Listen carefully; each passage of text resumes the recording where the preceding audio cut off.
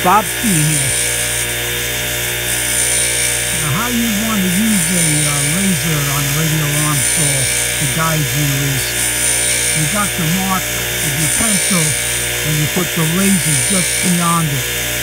And the pencil mark will be gone when the cut is complete.